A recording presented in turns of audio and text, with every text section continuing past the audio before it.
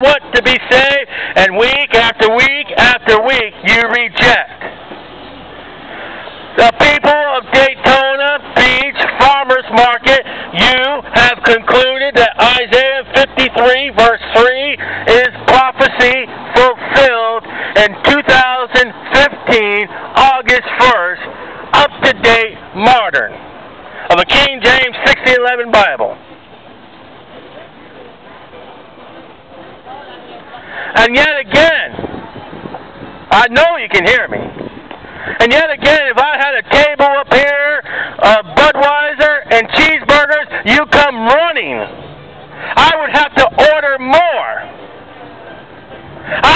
the car.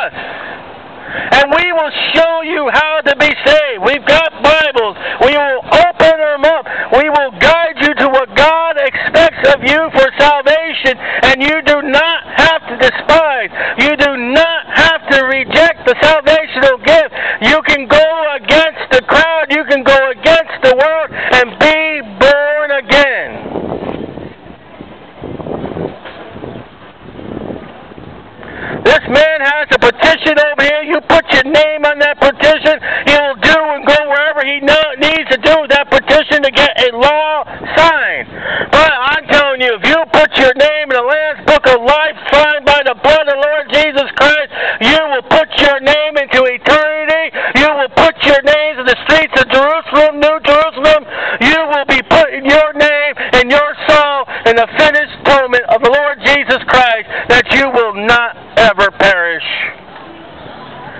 Putting your name down in the Lamb's Book of Life is being born again. God, give me that pen. Let me refill the birth certificate out. Lord, that's not a birth certificate. That's a book. Yeah, that's the book of life. Put your name down.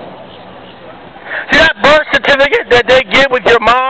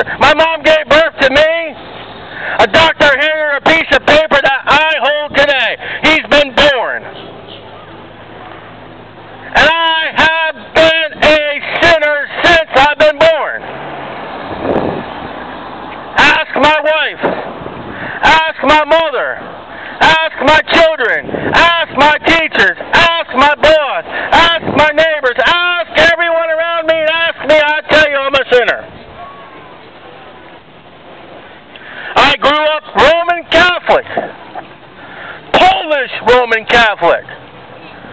Now, if you know what Polish Roman Catholic is, we are the most diehard of the diehard. We are more diehard than the Italians. Because most of the popes are Polish. That never saved me. I was sprinkled, dipped, or whatever, I don't remember. I ate Jesus, I drank Jesus.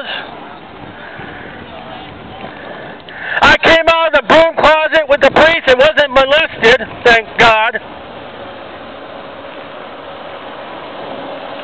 But I was going to die, I don't know when, and I was going to go to hell with religion. April 21st, 1987. I had a man, Joe Caswell, open a King James Bible. Showed me I was going to die. I knew that.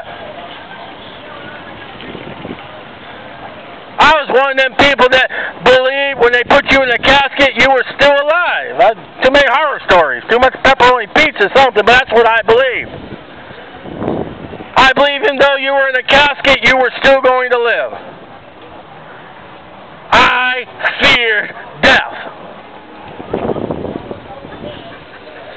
I don't like burns. When that man laid upon me hell, well, I don't want to die, and I don't want to burn. And when he showed me April 21st, 1987, out of the Bible that Jesus is the way, the truth, and the life. April 21st, 1987, in the afternoon, I knelt down at my grandma's coffee table with that man, Mr. Caswell, put his arms around me. I prayed that God would save a sinner such as me to be merciful to me,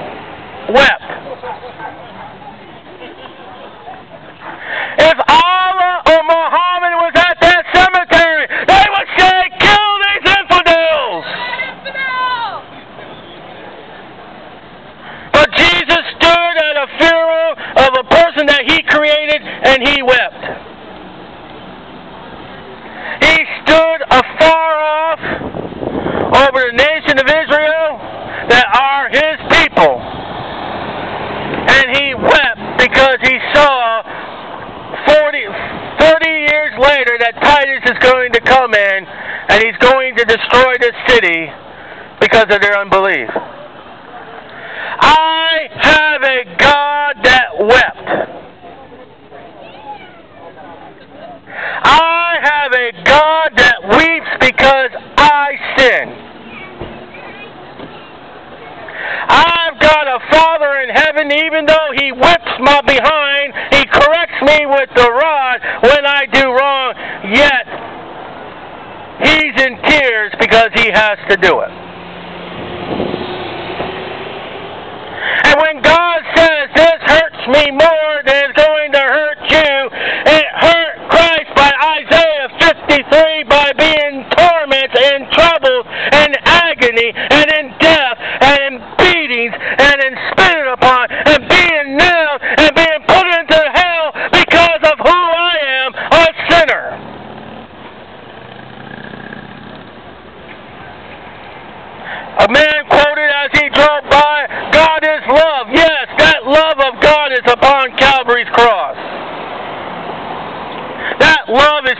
You are going to die, and you can't do nothing about it. That is the love of God. Isaiah 53. Acquainted with grief, and we hide as if our face is from him.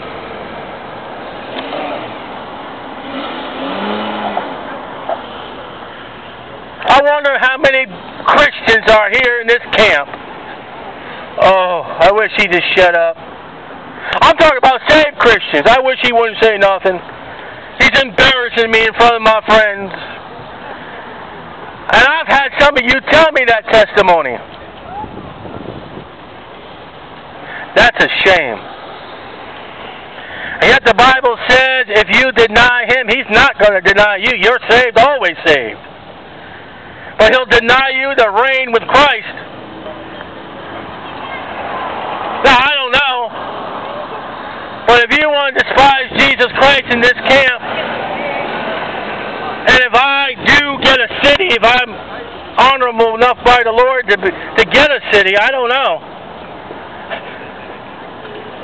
Imagine God putting you sitting, oh, I wish you'd be quiet, put, having God put you for a thousand years under this loudmouth.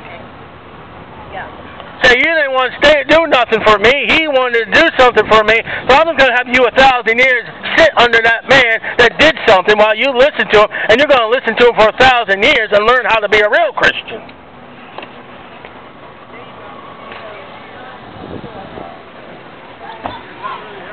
But he's despised not only among the world, he's despised by his own believers. I'd rather catch a bass than hear a sermon. I'd rather find out what's going to happen with that, uh, that American Idol than find out what the preacher's going to say Wednesday night. My family's outing's more important than my pastor. Well, probably with your family outings, to hell with them, because probably most of them are lost. And you'll stand before God one day in your failure. And yet the Bible says, we hid our faces from Him.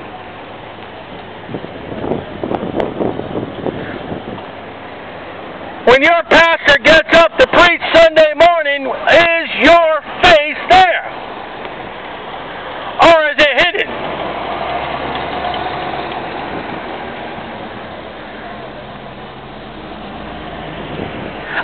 Read about Peter taking a vacation.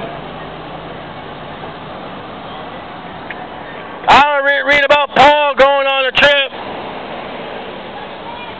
Last time I heard Peter, let's go fishing, is before the Lord re- revealed himself after the resurrection, and after he set them off under commission, after they were commissioned and said, we're going to go serve the Lord, there was no more fishing. There was preaching and living. Goodbye, family. Goodbye, friends. Goodbye, town. Goodbye, all. I'm going to go serve Jesus. Whatever I do, I am not going to despise him. That's saved or lost. Surely he has borne our griefs.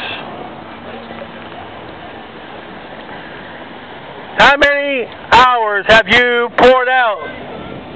the Lord Jesus Christ your trials, your tribulations, your troubles, your tears, your anguish, your pain. And He never, ever tells you to go away. Come back another time. I don't have time for you. Never.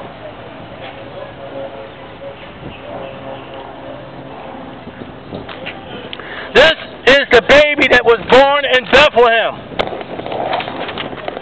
This baby had already shown Isaiah what to write by inspiration. This baby in heaven said, Isaiah, write about me.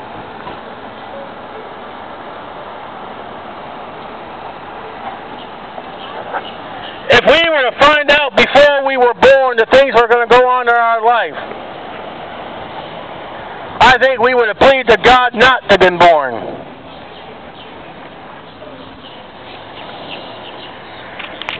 He carried our sorrows, yet we esteem him stricken, smitten of God, afflicted. But he was wounded for our transgression.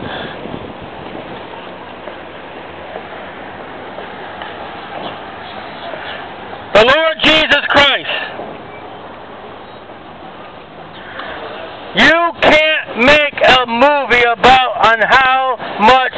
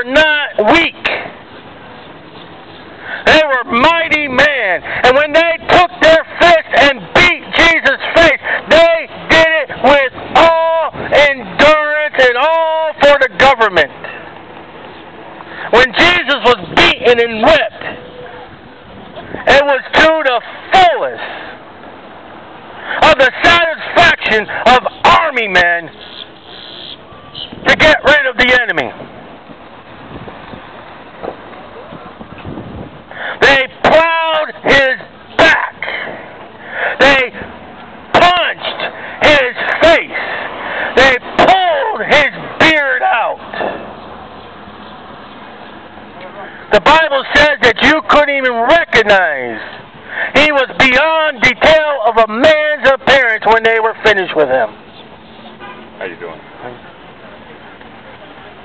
What, he's, what church? He suffered. He bled. And he died that you may have life. He beyond suffered. No morphine. No Advil. No aspirin. No lawyer. No doctor.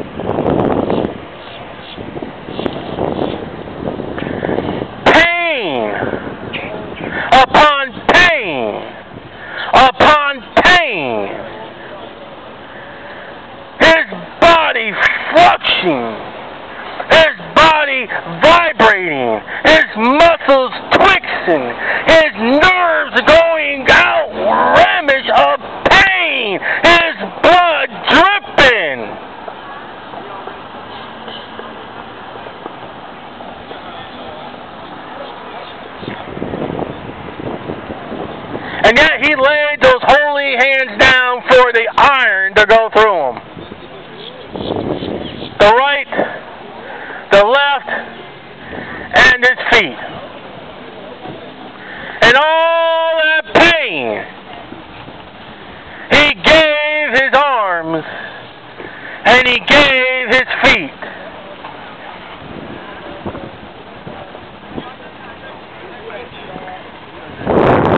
minutes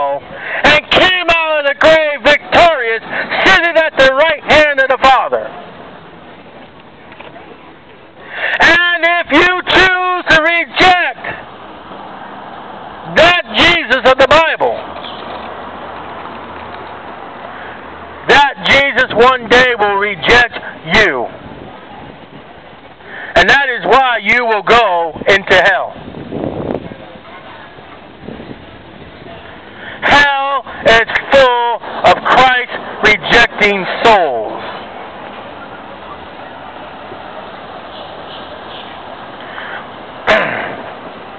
you need on your tombstone to be saved. Two birth dates to be saved. now turn to John chapter 3. There's so much in Isaiah 53, but for the sake of time, we're done with Isaiah 53. But John chapter 3. John 3 3. Jesus answered, said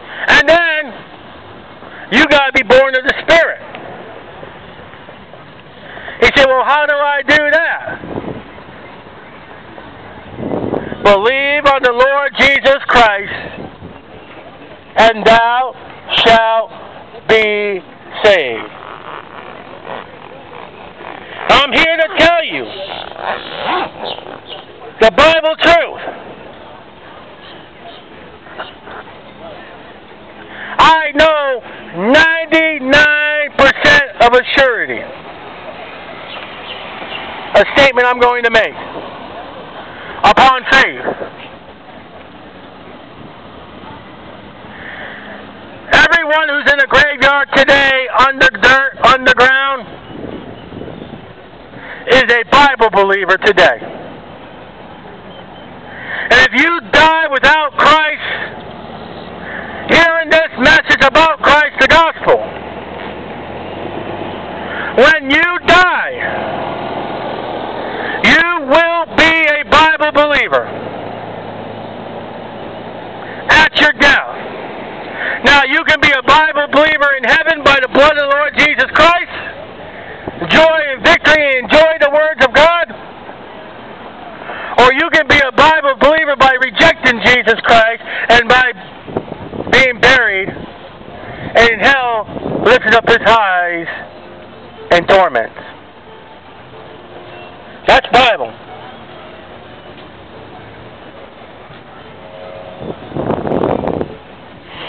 You need to be born, I see everyone here fits that qualification. Even if you were a test tube or a petri dish child, you had to have an egg from a female. That qualifies. Your mother may have left you, but you still have a mother. And John